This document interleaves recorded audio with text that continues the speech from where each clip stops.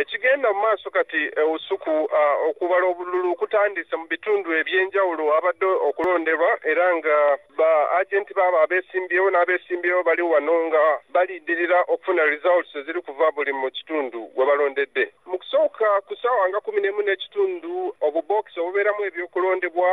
bugabiddwa ku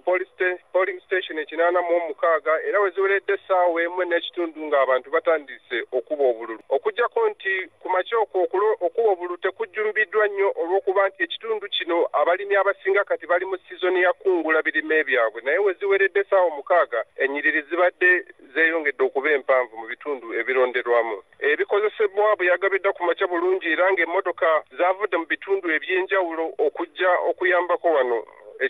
ekitongole ky'ebyokulondesa okulaba nti ebintu bitwalibwa we birina okubeera. Obuvuyo bwabaddewo okutandikira ddala ekiro ekikeeseza olunaku lwaleero okuviira ddala ssaawa nga mu ez'ekiro nga ezimu ku mmotoka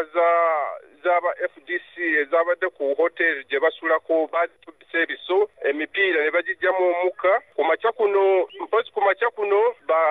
ba agents ba fdc abadde bagenda mu kimu ku bitundu ebiyitibwa angongojja bafuniddeyo obuzibu oluvannyuma lw'okusanga ekibinja ky'abavubuka ababadde tebaagala kulaba muntu yenna ava ku ludda oluvuganya gavumenti. We are really very sorry for what has happened and this has confirmed really the brutality the unfairness the nature of elections being unfree here in this district particularly Ongongoja sub-county.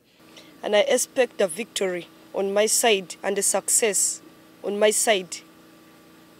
despite of the fact that other opponents have spoken so many words. I think it's going on peacefully, uh, although we got some reports that uh, uh, a car which had gone from FDC to Monitor, Ongongoja, has been smashed. So far, there's